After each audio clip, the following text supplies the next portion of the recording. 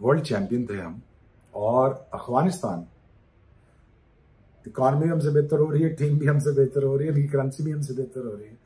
आज उनकी बैटिंग भी हमसे बेहतर हो रही है। कि तीनों मैचों में अब वही गलतियाँ दोहराई जा रहे हैं। सेट होके बैट्समैन आउट हो रहे हैं। एक गेंद आगे एक दिन एक गेम गेंद पीछे। स्पिनर्स कोई पेनिट्रेशन ही नहीं है आपकी। मेरे ख्याल से अभी तो सीरीज़ इंडिया के साथ नहीं हो रही तो इतनी मार दे ना कि याद रखे। अभी तो ये मैच भूलना बड़ा मुश्किल होगा पाकिस्तान की अवाम के लिए, हम लोगों के लिए, इन प्लेयरों के लिए भी, क्योंकि ये वो कसूरवार है, जिन्होंने ये टीम बनाने का मौका दिया तीन साल।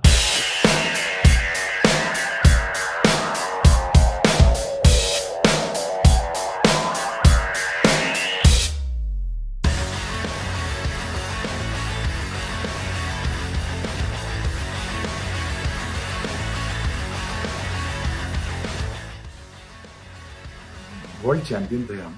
और अफ़गानिस्तान इकॉनमी हमसे बेहतर हो रही है टीम भी हमसे बेहतर हो रही है करेंसी भी हमसे बेहतर हो रही है। आज उनकी बैटिंग भी हमसे बेहतर हो रही है।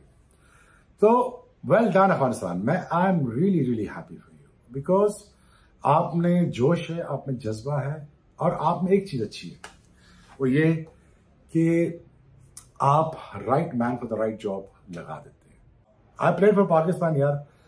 My heart bleeds. My heart gets in a lot of pain when I see Pakistan losing. मैंने सोचा था यार बच्चे हैं हमारे सपोर्ट करूँगा आज भी सपोर्ट करूँगा। मैं सपोर्ट नहीं अभी खत्म करूँगा पाकिस्तान टीम से। रीजन वाई कि अगर मैं होता तो मैं बाबर से कहता बाबर आ, ये तो वर्स्ट देन वर्स्ट हो गया ना। वर्स्ट कम वर्स्ट तो ये हो गया। अब हमारे पास चॉइसेस करेंगे चार टीमें अब मैं अगली चार टीमों को नहीं छोड़ूँगा। लंबी चौड़ी एक बहस एक डिबेट होनी चाहिए। कि इस टीम का डीएनए की ऑल्टरेशन की ज़रूरत है। सोच, फिकर, नया टैलेंट, नया खून, नई अप्रोच, टर्बुलेंस कम और फिर उसके बाद नए आइडियाज़ हर जगह के ऊपर जो है वो कोशिश करनी चाहिए हम, हमें चाहिए अब इस वर्ल्ड कप के बाद, क्योंकि ये बहुत हो गई, ये रॉक बॉटम हिट कर गई है ये टीम अब, और इसमें अब बाबर आज़म को खड़े होना है।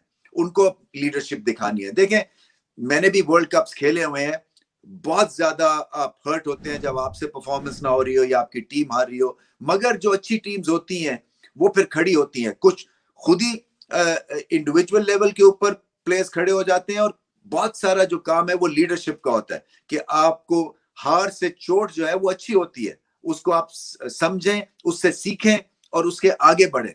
मगर ये नहीं हो सकता कि तीनों मैचों में आप वही गलतियाँ दोहराई जा रहे हैं। सेट होके बैट्समैन आउट हो रहे हैं एक गेंद आगे, एक दिन, एक गेम, गेंद पीछे। स्पिनर्स कोई पेनिट्रेशन ही नहीं है आपकी। एक कोई लगा हो के अभी आउट कर लेंगे। जैसे कि नूर ने बॉलिंग की, जैसे कि राशिद ने बॉलिंग की, नबी ने बॉल की, कि आप, की बैटिंग जो थी वो ऐसी दिख रही थी जैसे कि कोई बॉम्ब से आप खेल रहे हैं। इतने घबराहट का शिकार थे। वो तो फास्ट बॉलर्स की वजह से आखिर में बचत होगी कि गतका चल गया। बट अदरवाइज़ तो ये ढाई भी स्कोर नहीं होना था।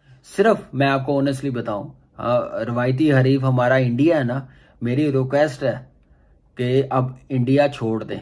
अब हमारे रवायती हरीफ जो है, वो अफ़गानिस्तान है, क्योंकि वो टीम बहुत आगे चली गई है इंडिया की। जो उनकी परफॉर्मेंस है, जो उनका लेवल है, हम ऐसे ही अब उनके साथ मैच खेला करें, जैसे इंग्लैंड ऑस्ट्रेलिया के साथ खेल रहे होते हैं फॉर्मेलिटी पूरी करने के लिए। कोई इतनी मीडिया हाइप देने की ज़रूरत नहीं है, क्योंकि हमारा लेवल अब वो नहीं है। हमारी अब एबिलिटी इतनी नहीं है कि हम ऐसी टीमों से जीत सके, लड़ सके। मेरे ख्याल से अभी तो सीरीज़ इंडिया के साथ नहीं हो रही तो इतनी मार दे ना कि याद रखे। अभी तो ये मैच भूलना बड़ा मुश्किल होगा पाकिस्तान की अवाम के लिए, हम लोगों के लिए, इन प्लेयरों के लिए भी, क्योंकि ये वो कसूरवार है, जिन्होंने ये टीम बनाने का मौका दिया तीन साल। कप्तान को दिया, फिर चेंज नहीं किया डेवलप नहीं किए वर्कलोड नहीं मैनेज किया, सारी लीग क्रिकेट खिलाई है डोमेस्टिक खेलने नहीं दी। जब तक आप लंबी क्रिकेट नहीं खेलेंगे, अच्छी बॉलिंग नहीं करेंगे, अच्छी बैटिंग नहीं करेंगे, लंबे स्कोर नहीं करेंगे।